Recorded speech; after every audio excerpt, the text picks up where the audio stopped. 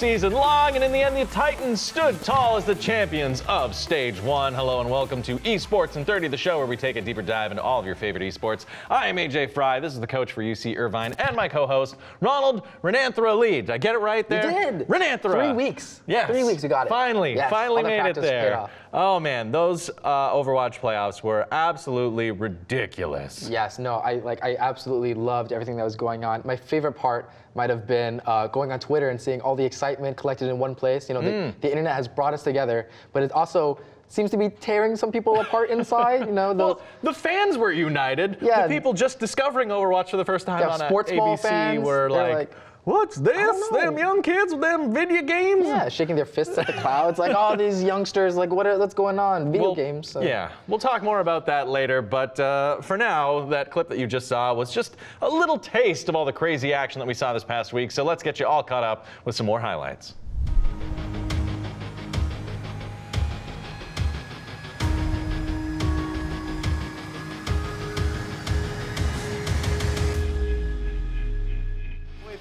Got to get to that yellow tick to finish this map and finish the series. They're so close. And they've got it. That is it. Vancouver Titans will take Temple of Anubis. That's a 3-0. Oh, the friend is gone for the fist as well. We'll see if you're gonna get it. Nope, Sado's there with the hammer instead. And this is it, the Fusion marching forward to a spot in the semifinals. They're gonna get it done, Hex. 3-1 victory for the Philadelphia Fusion. Transcendence going to be used by Miles. They're to get by. Going to be eliminated. Shatter comes down. Catches the rest of the squad. The pin through. Super gets himself a quad kill. And that'll be it. They can still make this work, but it's going to be in overtime.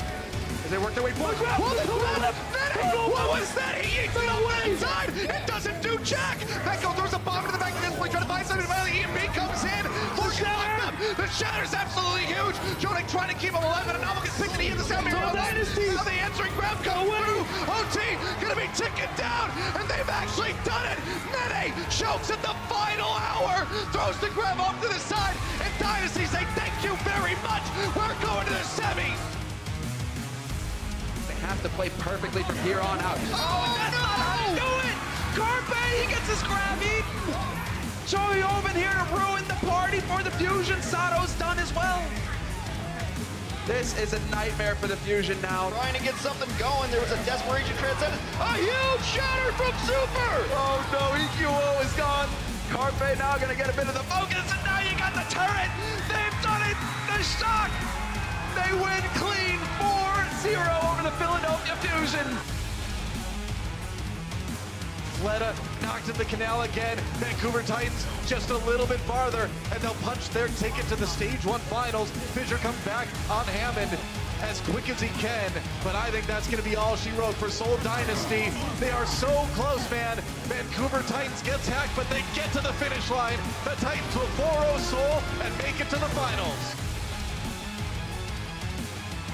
Super, he has to be careful. He's caught out. He's, he's down.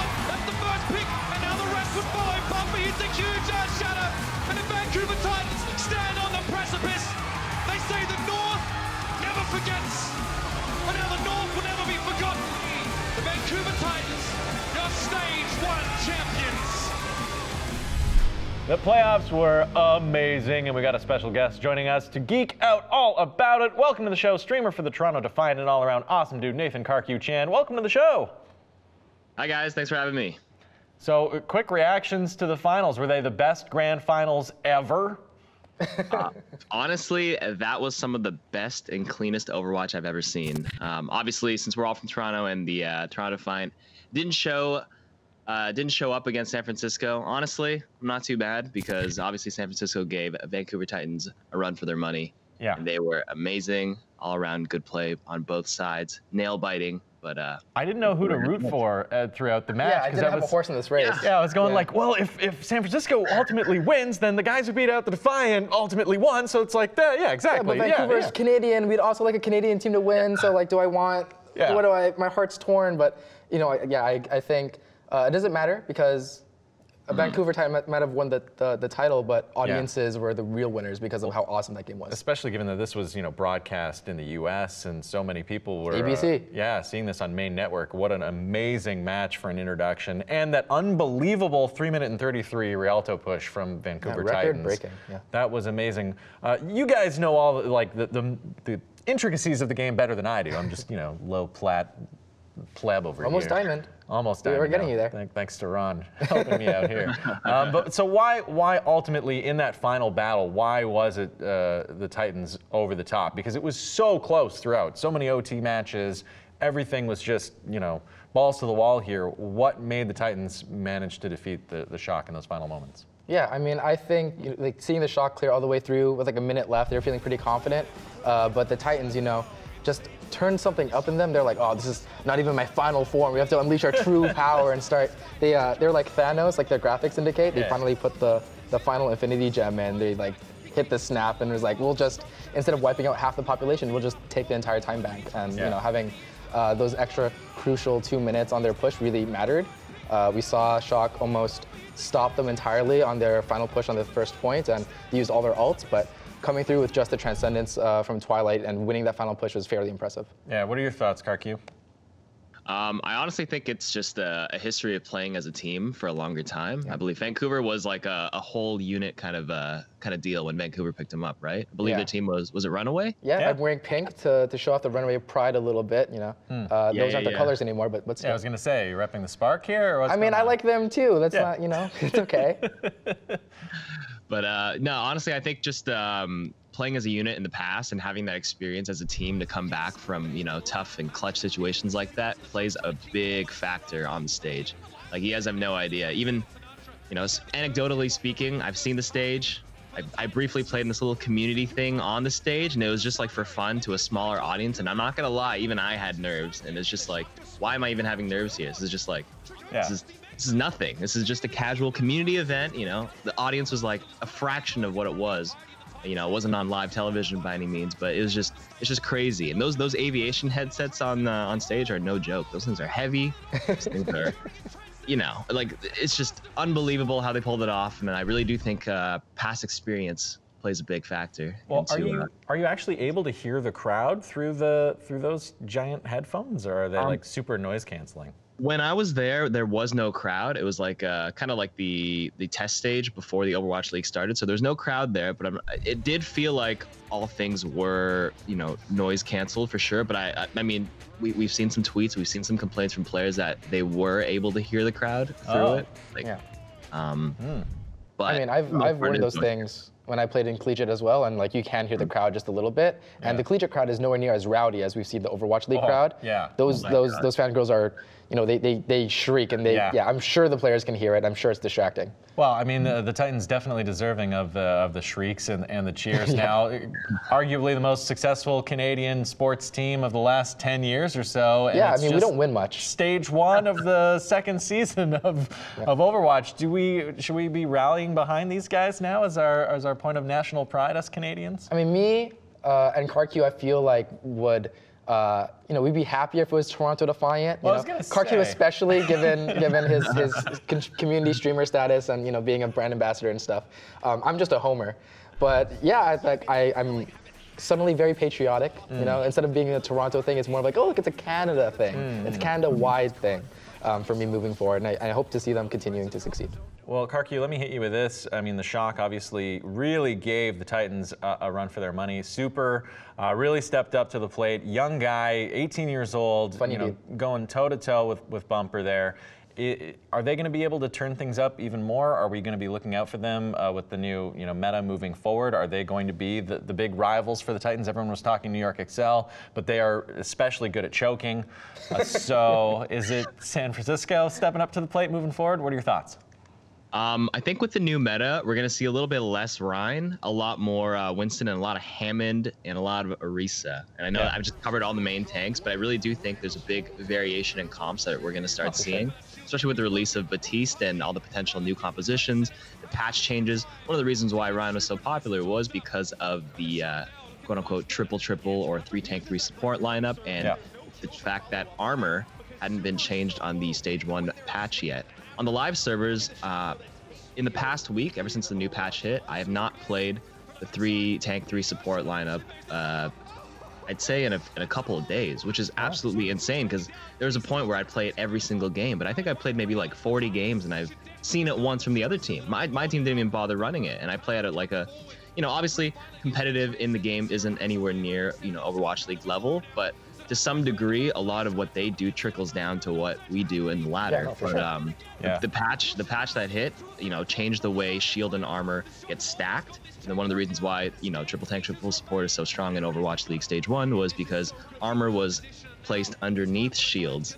So shields would take like you know all the uh, initial poke damage, but they'd be able to recover that naturally, and the armor wouldn't be touched from the Brigitte. So heroes like Zarya and Zenyatta were unbelievably powerful in that composition. But Baptiste, that change, uh, we're gonna see everything shift a little bit. So I'm not sure if Super can adjust. I know Super is an amazing Reinhardt. I haven't seen too much of his other main tank play, Right. and uh, I haven't seen too much of Bumpers play. I'm not. I didn't watch too much uh, Korean uh, runaway Overwatch back in the past. But if they can adjust, you know, I think the biggest strength in the team is adaptation. San Francisco adapted now, and we'll see who adapts next stage. Honestly, it's up. It's up to anybody. Yeah, It's well, speaking of adaptation, one team you know that definitely failed to adapt uh, to playoff conditions twice now are the New York Excel, as we Yeah. saw. Yeah, Seoul really took them, uh, you know, to the corner and beat them down with a solid. I think it was a 3-1, AJ. Yeah, 3 1 for sure. Yeah, and I don't think anyone was expecting that. No, everyone was But- calling like 4 0 for New York. Yeah, I mean, you on Twitter especially called them out. Yeah. So, I I, mean, you got a prediction wrong last week. I got a prediction wrong as well, hoping Yeah. Toronto would win. So, we're even Stevens here. Yes, we are. Um, but yeah, I mean, like, how must you be feeling as a New York Excel fan right now? You you you came and missed out on going to again the the Barclays Center, uh, Yeah. Barclays Center, in um, you know stage one, missing out on playing in your home city, and now you know you came back so motivated. You know, we know what it's like to lose. Let's not lose in playoffs again. Yeah. And then the classic choke once again, KarQ. Like how you know you're, you're a part of an organization now.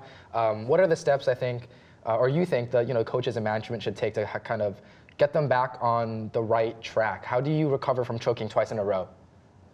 I mean, New York Excelsior were pretty much untouchable last season, and uh, a part of me wants to say maybe they got a little complacent. I mean, you know, when you've been at the top for so long, you've got to.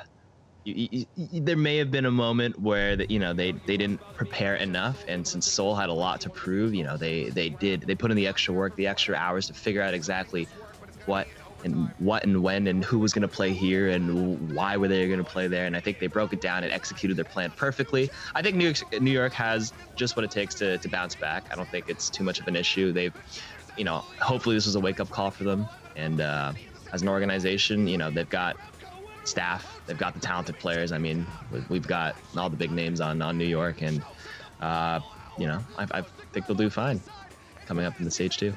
Okay. Well, one team that I, I maybe you guys can correct me on this one. You guys would be the, the experts on this, but uh, the Defiant. I don't think that they should do anything major moving forward. I think given that uh, the Defiant were an expansion team, they've come in with this roster that seemed to be gelling really well together. Obviously, struggled here in the Stage One playoffs, but at least they made it after you know being an expansion team. Yeah.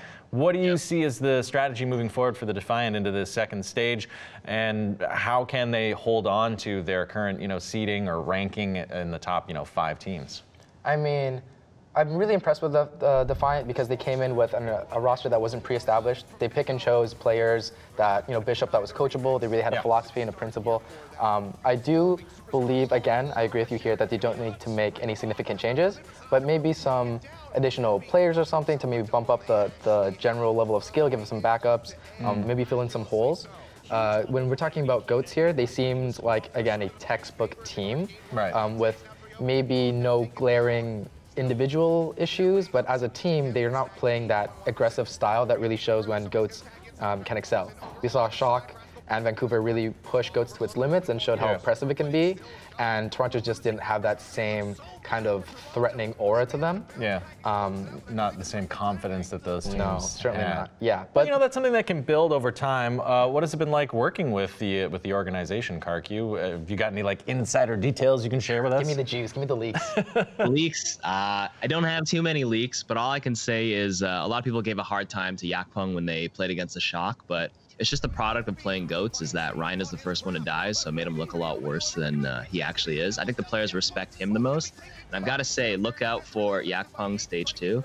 I've worked with him uh, for a video, Yeah. and uh, I'm just gonna say, here's a little leak. His Winston is absolutely insane. Best Winston in the league, though. Um, Juice, juice. Honest, it's hard. It's hard to it's hard to compare, you know, best players because you know Overwatch is such a team-based game, and a lot of like stats and rank And- one stats get just get you know. And He's with dodging the meta- question. No, but uh, like in fairness, though, with the meta changing too, like Winston best player Oh. has not so far been categorized in a meta where Baptiste is part Yeah, of it. Like things are going to change, defines- right? Right, okay. Everything's about to be revolutionized going forward. Yeah. So I understand what you're saying.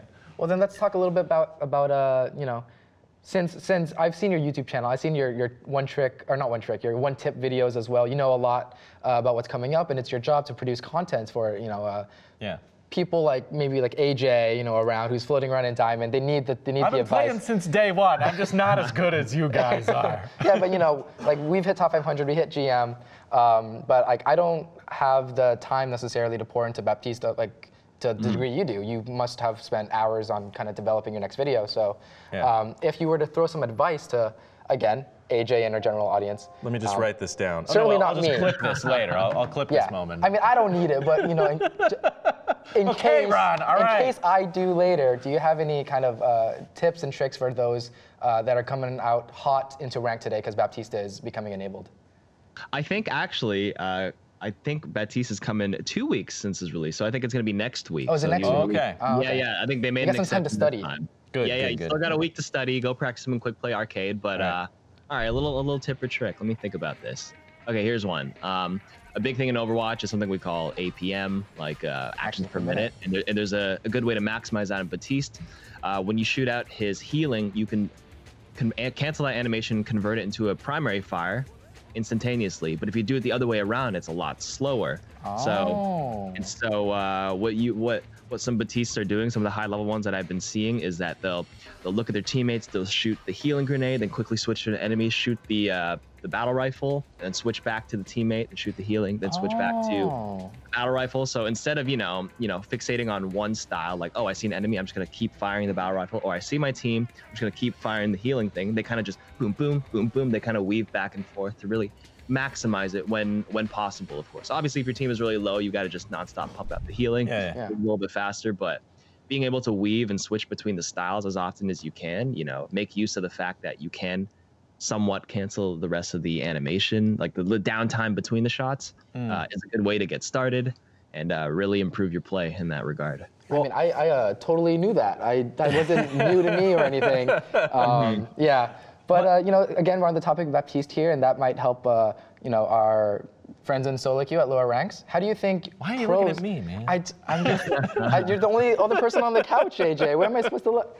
But uh, yeah, like uh, in pro play, uh, I think there's rumblings that he'll be enabled in stage two. Yeah. Um, you know, there's been a lot of talk with Nat, uh, Nate Nanzer wanting to kind of keep casual play, more professional play in line, so it's more unified and engaging for the audience.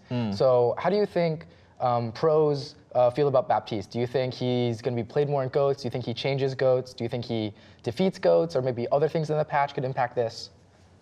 Um, I actually think Baptiste is one of the best enablers for Bastion compositions, and I, I That's what I said. wait I agreed with you.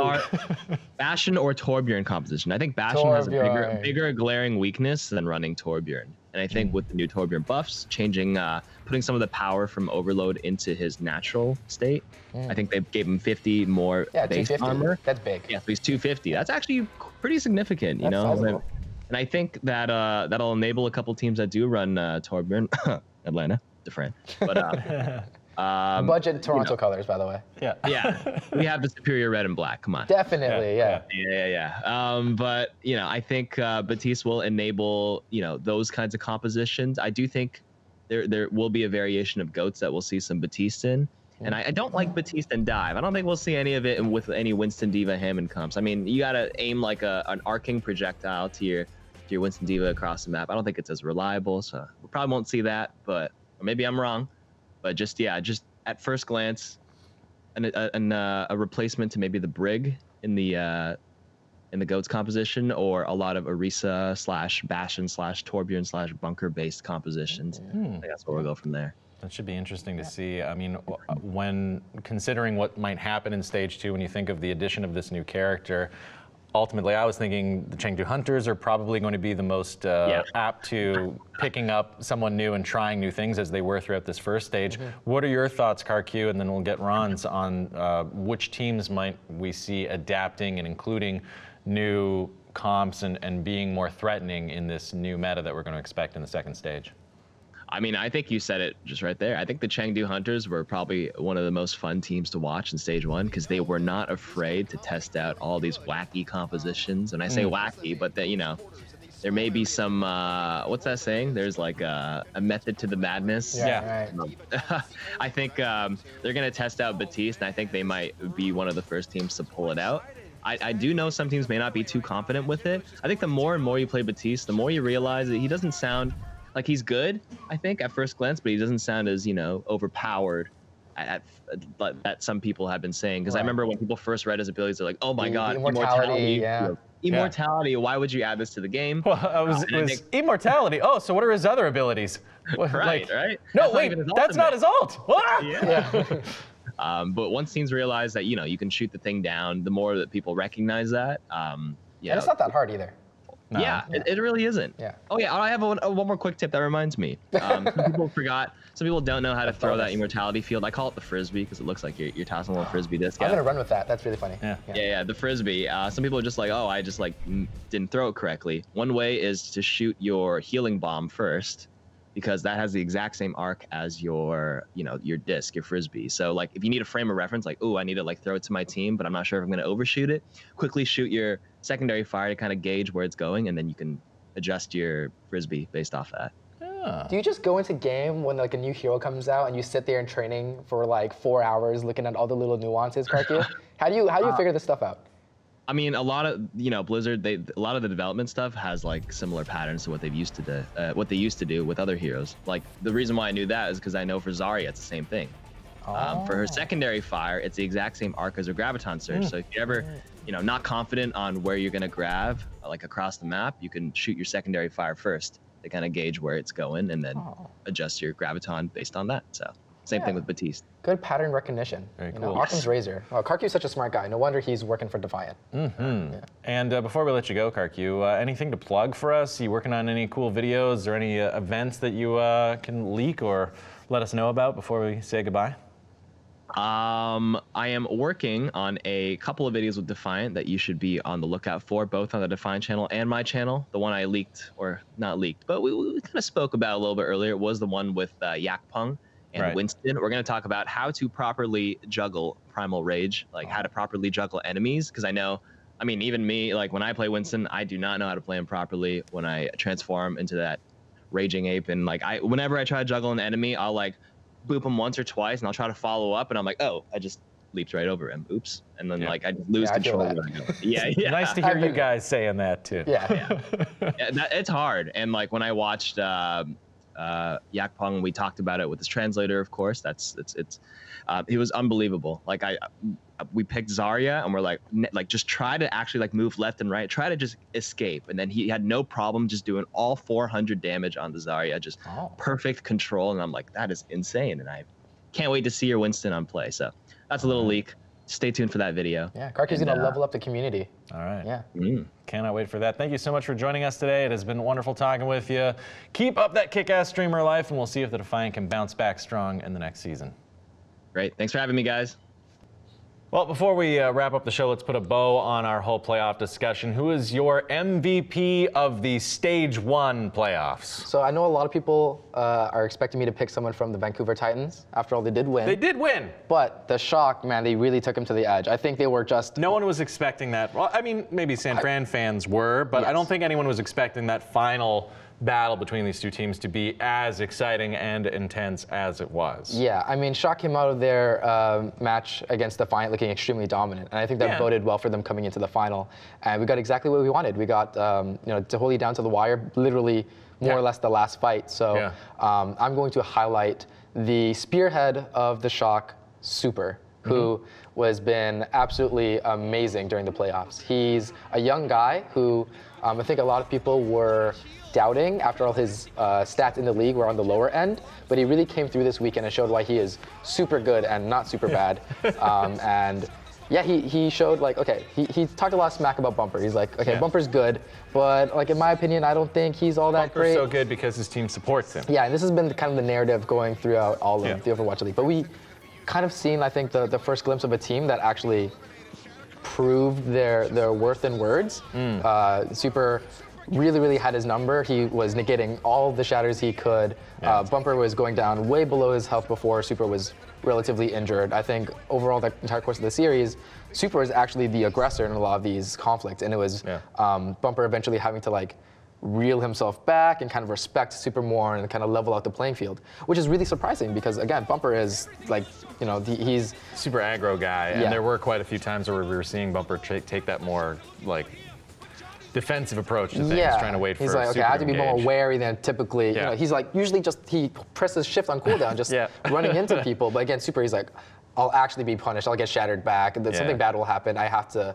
reevaluate this. And I'm sure. Mm. they talked about that in the locker room, which is again a testament to I think coaches or Shock's coaches uh, and kind of how well they've trained their players and kind of brought them together. Yeah. Well, and quick shout out to uh, their D.Va player, uh, Choihyobin. Am I saying Yeah, that right? Choihyobin, correct. Yeah, he had some amazing uh, game-saving moments there as well. Mm-hmm. Now we talked off the top of the show a little bit about uh, the fact that uh, this was actually broadcast on network television. Yeah. Bringing our sport to the masses out there. And, and before we dive into it, of course, a big thank you to everyone out there for uh, joining us here on Squad State and for Esports in 30 as Plug we it. dissect uh, Overwatch League. It's pretty cool because I was getting messages from lots of people telling me like, "Hey, the thing that you've been talking about, like, it's on TV right now, man. This is getting this is getting huge." So, on one hand, it's wonderful to see this this greater exposure, but yeah, now we're being thrust into this blowback from people who aren't aware of this growing community of esports enthusiasts.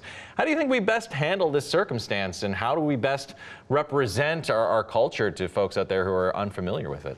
I mean, I think it, uh, a lot of people think this is like a really foreign territory. A lot of people think, you know, what sort of weird backwards world Twilight Zone scenario are we in that video games are kind of like put on TV? But Right. When you think about it, it's just another competition of skill. You Yeah. see chess on TV broadcasted. You see Darts, darts, yeah, bowling, curling. Actually, had Not all those to discredit examples. those sports. But they're a little, you know, kind of They're below the- different than your, your grunty guys slamming into one another Exactly. to prove their merit. This more is- cerebral. Exactly. Right? Like your, your tool of choice might be a heavy ball for one or a sharp, pointy object for another. Yeah. Why can't a keyboard and mouse be your tools for um, Exactly. this type of sport, right? And it was pretty cool watching, uh, you know, the arena and also looking at some photos of it uh, earlier today. I realized Beautiful. like there's no barrier between the players Maybe and the should be. crowd. Maybe there should be, especially with like Dogman and Dafran. But Yeah. uh, but there's no, you know, yeah, there's no no danger to the spectators in the sport of Overwatch League. You can be right up there watching the action, involved in it, immersed in it, and it, it's accessible and obviously um, accessible to to all kinds of players. You don't need to be, uh, you know, genetically gifted in terms of your stature in order to participate in the sport of Overwatch. It can be pretty much anyone. Yeah, I think that's the entire argument for some people, though, is that they want there to be kind of this differentiation that like we should kind of uh, be watching the peoples that are maybe bigger than man in a way. That these Right. guys are the top of the line, right? Um, but it's odd to me that we kind of honor or hold like physical um, peak performance or you know the pinnacle of physicality as opposed to the pinnacle of, of mental uh, kind of capacity and, and cerebral calculative nature. Yeah, but there's another element to that. Like all the players are quite young. Yes, incredibly so. Like, you yeah, age out of Overwatch older pretty than quickly. them. Yeah, there's no way that I've got a professional career in my future Oh, I'm in sure. Overwatch. I'm sure we could Really? get you in a beer league or something oh, on a Sundays. beer league. Oh, okay. Yeah. All right. I mean, my like, hopes up for a split second. here's I think what I kind of want to hit on before we send off is Yeah. that um, sure you know these these guys will come out in, in hordes on Twitter and kind of bash uh, the thing we love, but Yeah. um, that's that's good. That's like a sign that you know progress is being made when people start getting upset at things that change. You know. Right. Um, I I do kind of want to tell people on Twitter to not feed the trolls a little too much. Um, we want to kind of educate more and introduce them to this scene and accommodate Yeah. them as much as we can. We've already seen some minds change on Twitter where they come in, uh, you know, again, shaking their fist, being like, this is the end of the world. And upon some positive reinforcement, but like, come on, man, give this a chance. It's more like sports than you think. Especially those finals. I mean, what a what Beautiful. better representative or representation of our sport could you have possibly asked for than that overtime win? You know, the, the the two teams just going toe to toe there right until the very end. It Yeah. was beautiful. And if that didn't excite you watching it, well then esports, I, ju- I guess, just aren't going to be your thing. I mean, I, I think a lot of these guys really like trash talk, and esports is not short of uh, trash talk whatsoever. So if anything, you could come to uh, talk ish. It doesn't matter. At least share it with us, not against us. You know? Yeah. Yeah. All right, well, that's all just talking from us this week here on Esports in 30. Stage one is down, but there's another one coming up over the horizon. Next week, we'll do a deeper look at stage two of the OWL right here. And if you're into Smash and the FGC, you're going to want to tune in tomorrow for another Esports in 30. And before we let you go, make sure to check out all of our socials at Squad State. See you in the future.